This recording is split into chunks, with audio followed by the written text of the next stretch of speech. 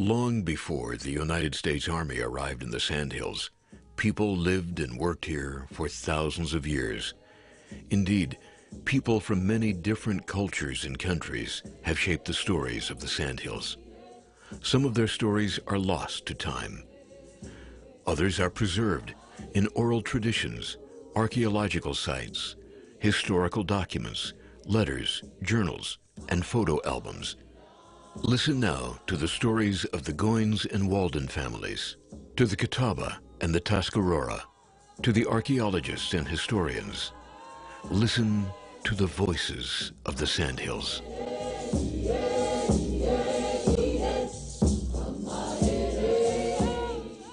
I don't care where you go, it's just sand and sand, sand, beautiful sand.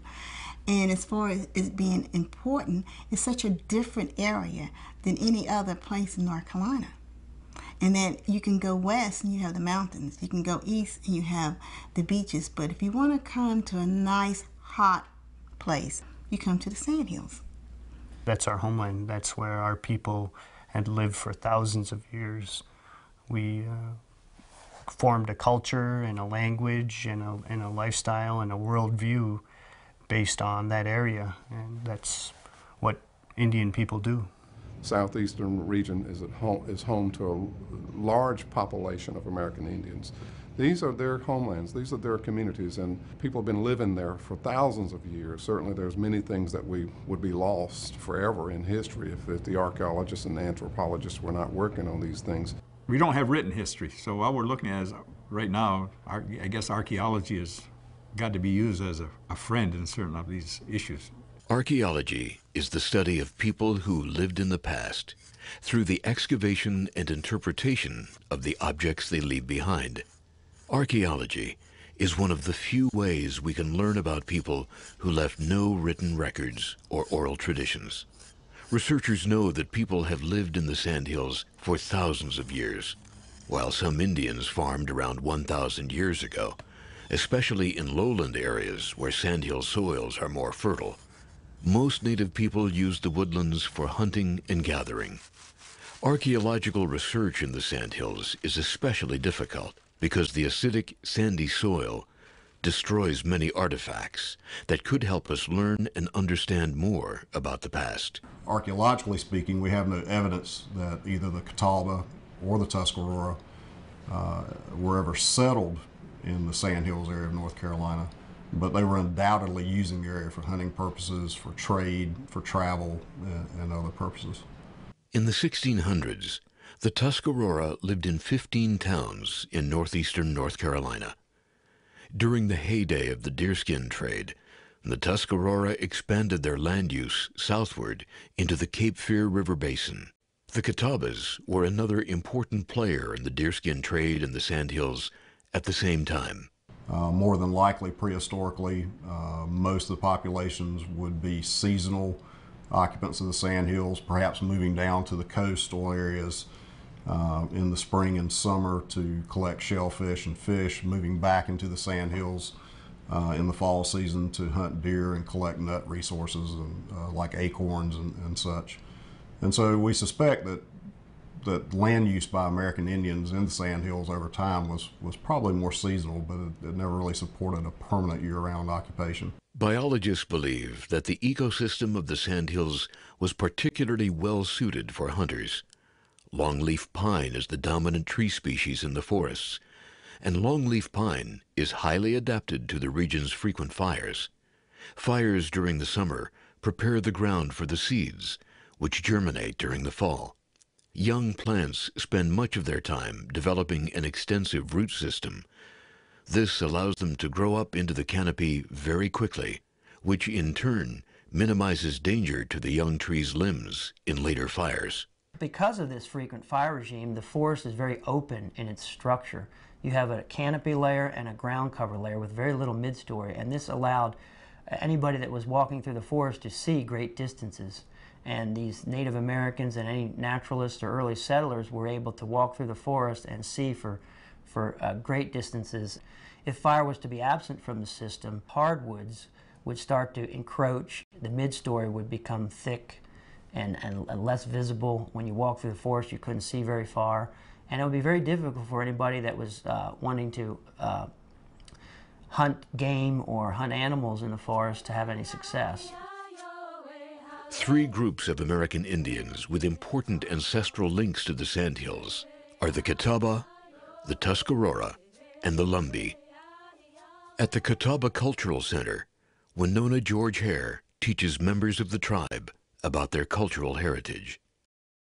From the cultural standpoint, we feel like it is extremely important that you know what it means that sets you apart from other tribes. We have a distinct Catawba pottery culture. Um, to think about today, the same Catawba River that we can walk down this trail out back of this cultural center and go down and look at, and to think that you would get into a dugout, dugout and paddle down and, and gather clay and come back on that same river with a limited amount of clay and how hard it must have been to, to do that and how proud we can say that it was important enough that, that no matter how hard it was, they continued um, with that tradition. Caroleen Sanders, a Catawba potter, is continuing her family's tradition of female potters, having learned the craft from her mother and aunts.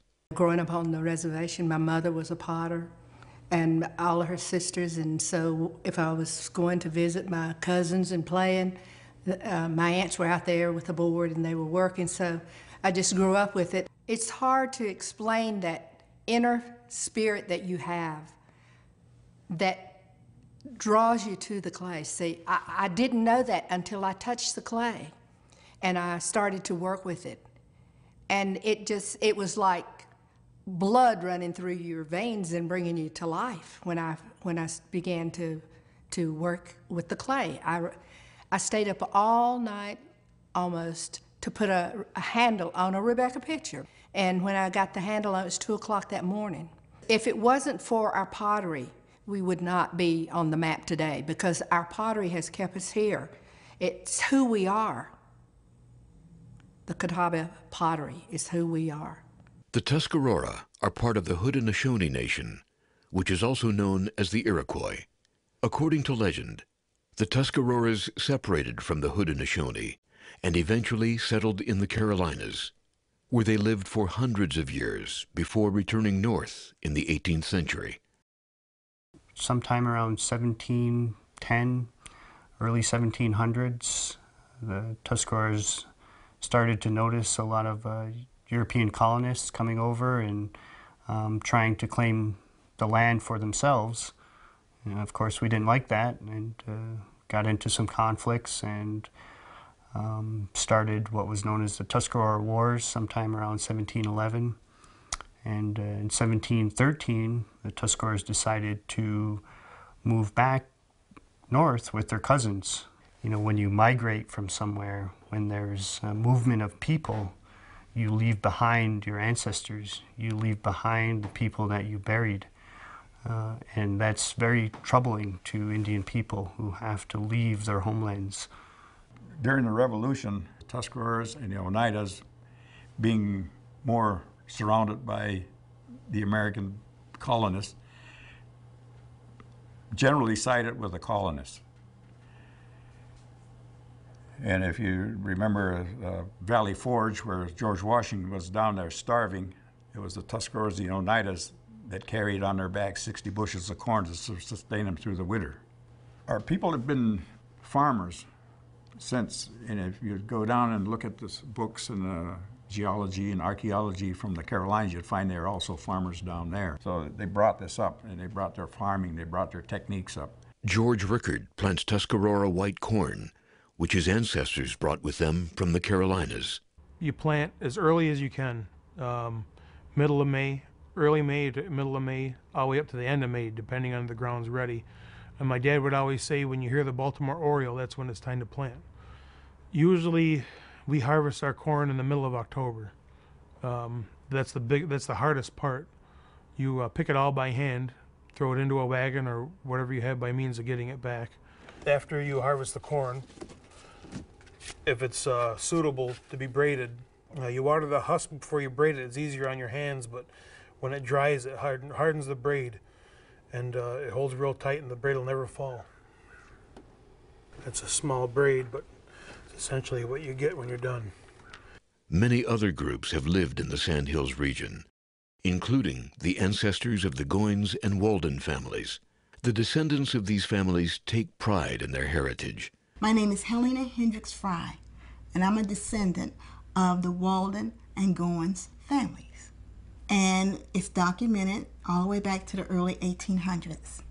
And as far as the area that we know today as Fort Bragg, it used to be owned at least 4,000 acres by my family. The area of Sand Hills is very, very difficult to grow any kind of vegetables, but they did farm. But most importantly, they had a turpentine company. And they, and they were the very first ones. And it's written that they were the first, that was the first Native American business. So they farmed as far as for their children so they could eat. And they also spent most of the time in the turpentine business.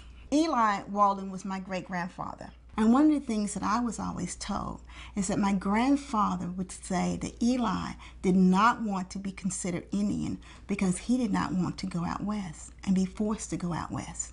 And it's been a secret that has just been passed down from generation to generation. So both groups of people, and that would be the Waldens and the Goins, were considered free people of color. They always lived together. They always lived in the same community. The Waldens and the Goins, and they cannot be separated because they've always been together. They've always intermarried. In 1918, the War Department acquired Camp Bragg lands. All families who lived on these lands, regardless of ethnicity or social status, had to move off the installation. I think even though the family had to leave the Fort Bragg area, that um, Fort Bragg has preserved the home sites there. And uh, they protected it, and anytime we want to go back to visit, we can. So they maintain it, they, up, they do all the upkeep, and, and they're trying very hard to hold on to the history of the area. The Lumbees still live in the Sandhills region. Their tribal offices are located in Robeson County. They are currently working to gain federal recognition for their tribe, which will give them a greater sense of pride and sovereignty, as well as financial support for health care and education. We settled in the uh, Fort Bragg uh, Sandhills area basically out of survival mode. Where we finally settled in this area was an area of refuge because it was mostly swamps. And uh, once we got into the swamps, the colonials and Europeans didn't see this as valued land, so this is where we ended up. In 1835, North Carolina amended the state constitution to define citizenship on the basis of race. Non-citizens, including slaves and Indians, were denied rights, including the right to vote, the right to bear arms, and the right to educate themselves we were pretty much okay with no voting and, uh, and, and not really okay with bearing arms because we needed those arms to hunt squirrels, rabbits, and other game that we were accustomed to doing for survival. But education was the key. We had a few people that had learned how to read and they taught others inside their home because it was outlawed, inside their homes, how to read from the Bible. So we tried to keep the educational aspect going inside small families. The law changed after the Civil War when North Carolina rejoined the Union. The Lumbee gradually began to regain their rights, and in 1887, a school was established to train teachers for the tribal schools. And once they knew, they knew that once they taught Lumbees to become teachers, then they, we could teach ourselves, educate ourselves, and that was the whole goal. The Tuscarora established language revitalization programs in the 1960s Students at the Tuscarora Indian Elementary School are connecting with their heritage through an innovative language program.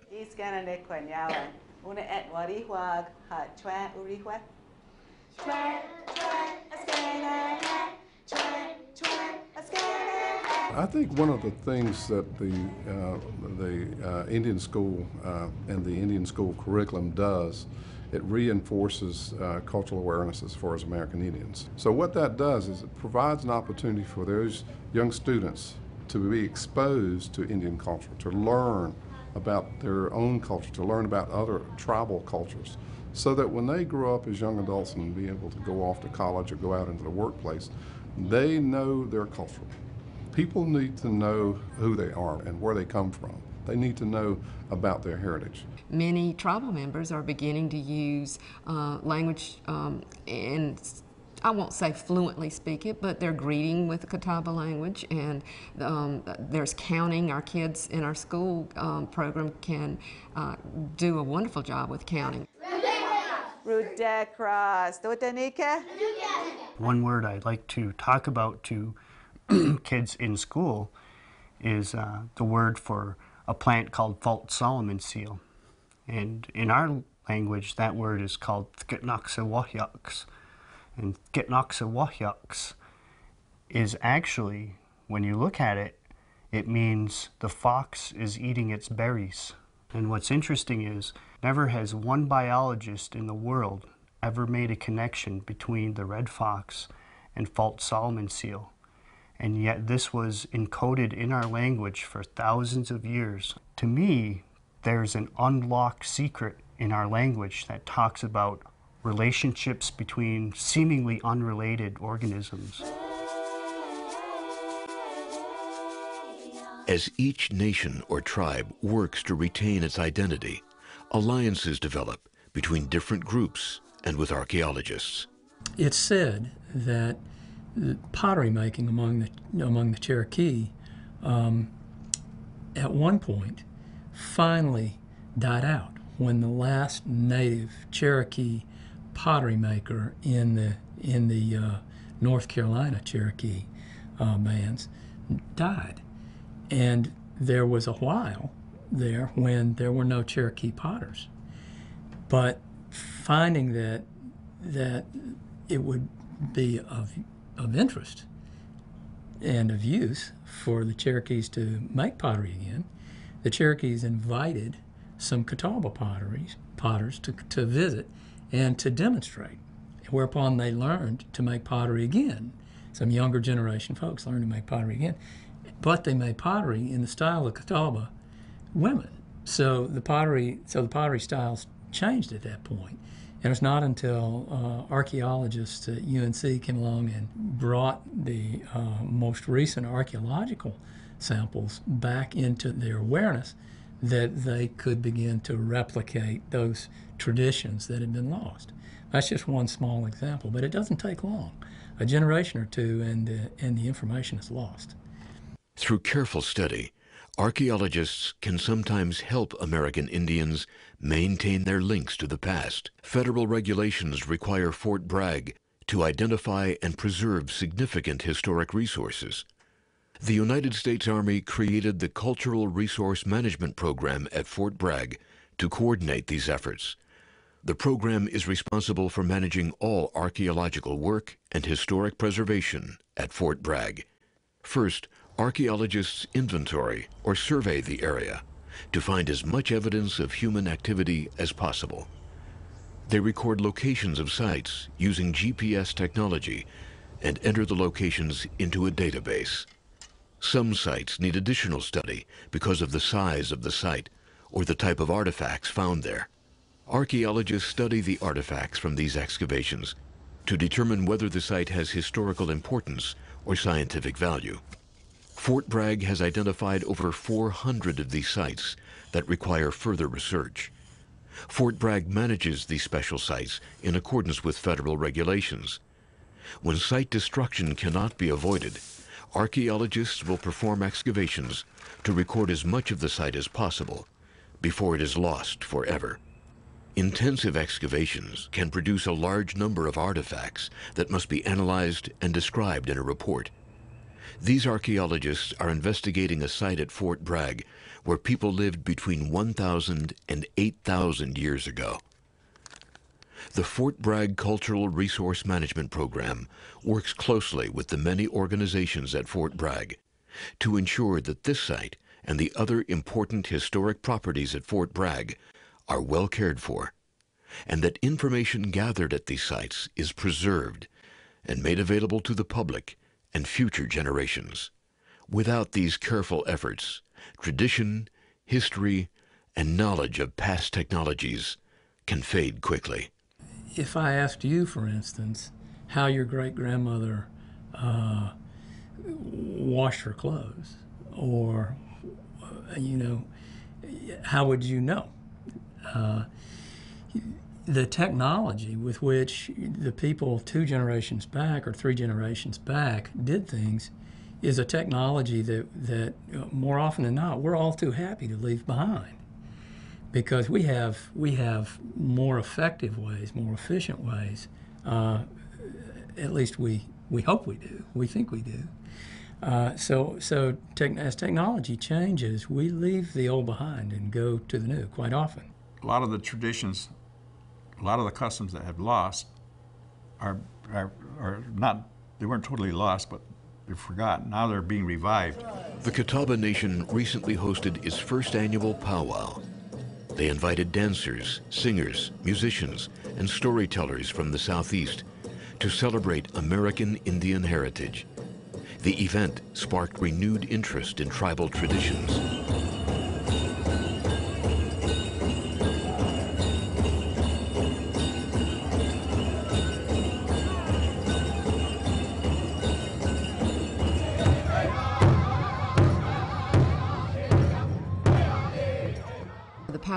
Perfect eye opener for our tribe. We have uh, members wanting to come and uh, participate. They're wanting to learn how to make regalias. They're wanting to um, make one themselves, um, and they're wanting to learn different styles of dancing and bring other teachers in from other tribes to um, teach you know different styles of dancing. As the 300th anniversary of the Tuscarora migration from North Carolina to New York approaches, tribal members think back to the trip their ancestors made. What a journey it must have been for our people to leave North Carolina, to leave their homelands, and to move a thousand miles away um, to live amongst people who maybe they weren't so familiar with and had, had lost some ties with. And we thought, well, I wonder what actually, where they actually went, what trail did they take? And so we started to think about it. These thoughts led to plans, and the Tuscarora people decided to recreate their original migration, walking thousands of miles along the path their ancestors took. So, for the last two years, through the help of the Haudenosaunee Environmental Task Force, we've been able to fund some trips for our youth to get them prepared. And we're hoping that if we start now with high schoolers, that in three years they will be the leaders of that trip. And by 2013, they'll be so familiar with that trail, just like our ancestors would have been, and be very comfortable to be able to spend a summer about four months walking from the Carolinas to New York. The information we have about the Sandhills would not be here without the Army's stewardship at Fort Bragg, as well as the careful work of archaeologists. This information has helped maintain the unique connection to the Sandhills felt by the Tuscarora, by the Catawba, by the Lumbee, and by the Goins and Walden descendants. This connection is still present after all these years. And it's through this connection to the Sandhills that each group is tied to the traditions of the past and to the future. We've always believed in land, that we cherish family, we cherish land. And through the generations of family, it, it never changed. So the, the, just the fact that I can go where my great grandparents walked, it, it's very moving and I try sometimes to close my eyes and pretend that I would, could go back and be walking beside them and try to imagine exactly what it would be like. A lot of times I get up in the morning and I walk around and I, and I try to think and wonder. Because when you think about it, the land itself has not changed that much. It has not. Over the years, you can still almost close your eyes and see the houses and hear the birds.